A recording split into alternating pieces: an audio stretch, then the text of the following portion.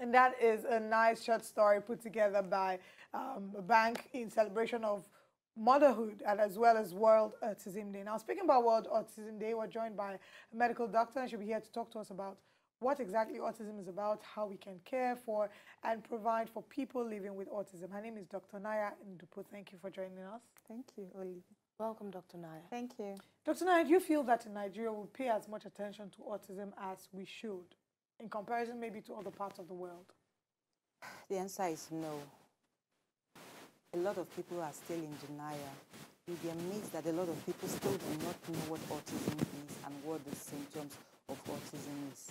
And it's unfortunate for the children suffering from autism because I find that, that sometimes these children are being maltreated out of ignorance and then because some people just believe it's a spiritual problem, these children are locked up.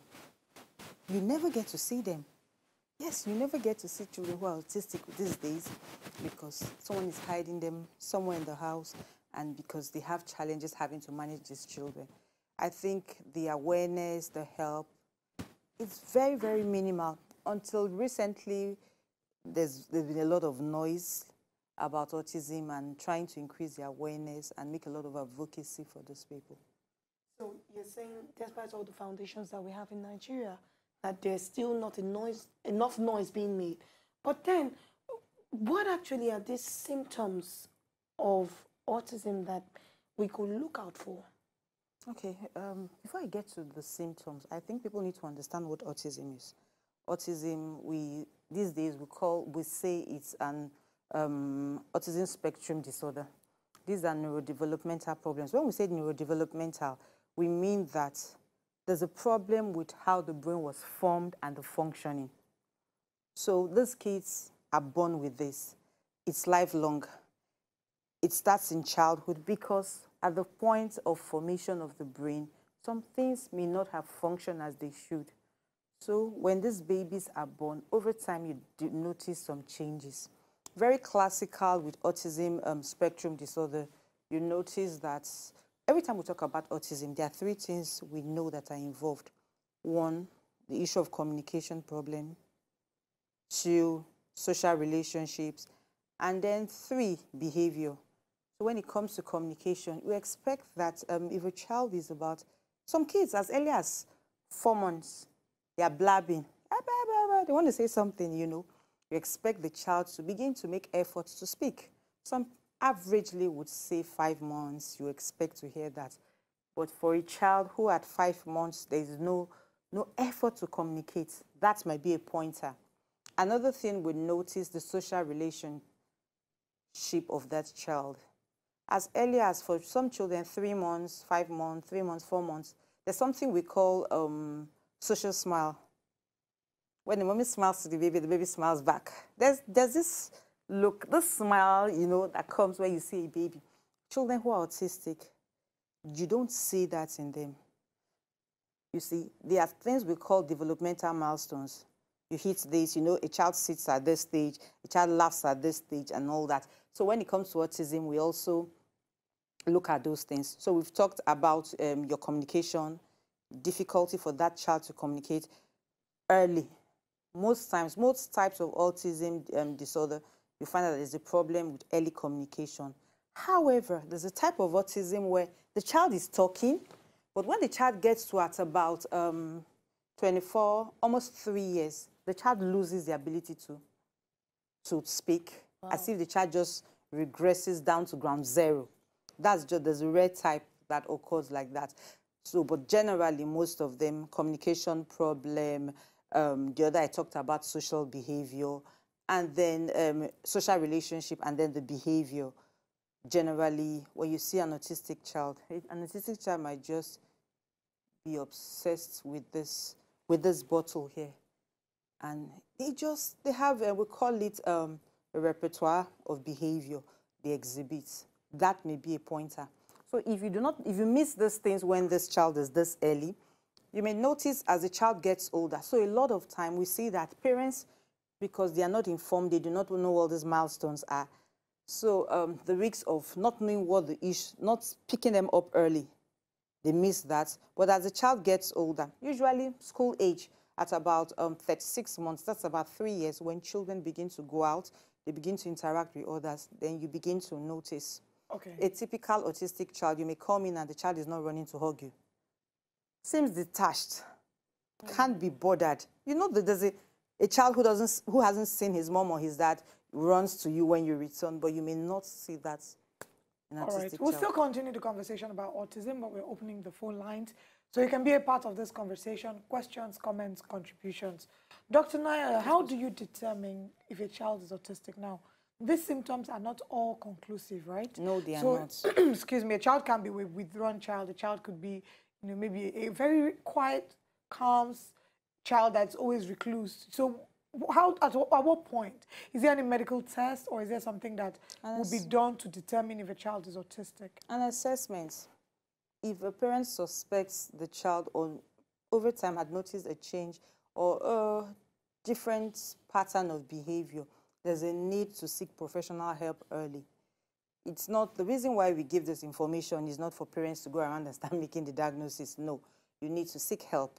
You could see a pediatrician, you could see a neuropsychiatrist, you could see any of those people in the mental health field, and they're able to holistically look at this child and say, this may be what is going on. And when we say autism spectrum, they could be, it's like a range.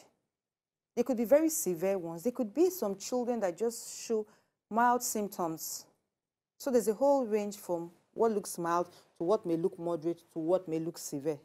So in very severe cases, you have them with all this communication problem, behavioral issues, social relationship, and some form of intellectual deficits for these children. It may happen.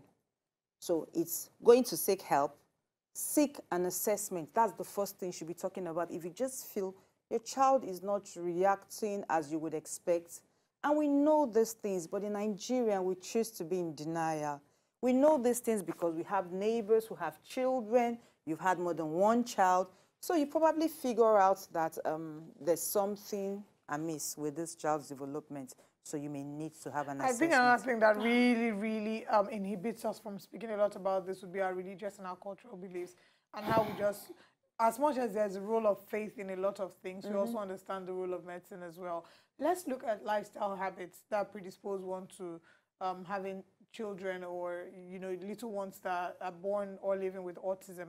There are times when we know that mothers feel guilt when something goes wrong with the child, you give birth to your child and something is wrong, the mother starts to feel guilty, like it's her fault. Maybe she didn't eat right, she didn't do something well enough. Is there anything a mother can do that can predispose a child to being born with autism? Unfortunately, no. Studies have shown the true cause, the etiological factor for autism is not known. There have been speculations here and there, but all these have been discounted. There have been cases where people came out to say it had to do with immunizations, but we now know it's a no. There is no relationship with the immunizations we give to children and autism. That's a misconception. And we have trashed that to one side that, um, that immunization has no business with autism you know, so there is really no way mothers can prevent. However, we know that the most striking um, suspicion is if there's a history of autism. Take, for instance, there's a relative who has autism, or there's a child in that family who already has autism, the likelihood of another child, the, the, the percentage increases. So for us, once there's that history, then there may be a need to begin to talk to the mother that having a history of this in the family already could increase the chances of another case of autism. So that means it's a, it's, a, it's a case of it being genetic, Very true. likely like dyslexia. But I'm not saying the same because I know that is also. It is, yes. Okay. There is a strong tie with hereditary. You, you, you are at the risk, if there's a family history, then the risk of inheriting it or developing it is high. Okay, so now I think one issue I remember meeting somebody who actually has a child that is autistic. Okay. And her greatest fear was she felt that he wasn't going to end up like his other siblings, you know, go to school, get a professional course done, become something good, you know, no matter what he wanted to study. So she just felt he was just going to be there mm-hmm. and grow old and be a liability to her. Now, is that true that once a person is autistic, it's just that they're going to be that way forever? Or they can actually just lead normal lives and, you know, do everything a normal person would do.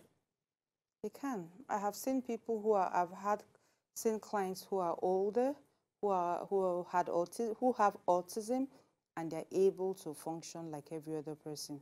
You know, I said there's a spectrum. You have where there's there are mild symptoms, and then there are cases where a bit extreme. When we say intellectual deficit, is what the, the layman may call some form of mental retardation these days. That's what we mean by intellectual deficit. So you still have those who are extremely intelligent, good in maths, amazing in music. So if parents suspect that a child is autistic, it's important that that child is assessed. When we assess early and this diagnosis is confirmed based on the history, the examination of this child, then we begin to, you know, it, it requires a multidisciplinary approach where we drag in every other person. You need the occupational therapist, you need the speech therapist, depending on what we find to be the issues in this particular individual. Every time there is autism, they are what we call comorbid conditions. Comorbid conditions could be a seizure disorder. It could be hyperactivity disorder. It always comes, usually comes along with other childhood conditions. So when we say multidisciplinary, we need every other person to be there to help in managing this child. Why do you need an occupational therapist? An occupational therapist looks at the strength of this child. We're able to identify in what way. So it's not that notion of this child is a death sentence, nothing good can come out of this child. That is not correct, unless they have not done what they should do. If this child has been helped up to the point where professionals can assess, we look for what the strength of this child is and see, okay, we can work on this strength and help this child towards this field. This child may not be a typical child who is able to relate with everyone as we expect. However, the, the, the strengths that have been identified on this child could work and you'll be amazed what can come out of it. Now, is this something that can be detected whilst the child is in the womb or, you know, the, the fact that we know that there's, there's a little bit of, there's technology that allows you check your baby's genotype in the womb. I don't know if that applies for autism as well. No, as of today, there's nothing. Yes, we know for other, um, for some developmental issues, Down syndrome and the rest, there are ways we can detect early during pregnancy that this may be. But as we speak today, no, we, in this part of no, we, we haven't gotten to that where we're able to establish that we can do a prenatal diagnosis of autism. I'm also glad I mentioned Down syndrome. Now, there's a bit of confusion a lot of the time with regards to difference between autism, Down syndrome, cerebral palsy. So we find that, you know, some people do not understand how how different these different these issues are. So would you be able to shed some light on that for us? Okay, what's the difference um, from autism? okay, let me talk about cerebral palsy briefly. In cerebral palsy, what happens when a child is born? You expect that that child cries the first minute of life, the five, the first five minutes of life.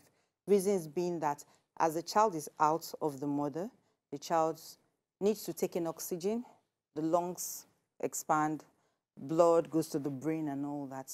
And that's why it's so important a child cries at birth. And then sometimes you see when someone is in labor, we are trying to resuscitate, we are trying to make sure this child gives that first cry. At that first cry, you take in oxygen.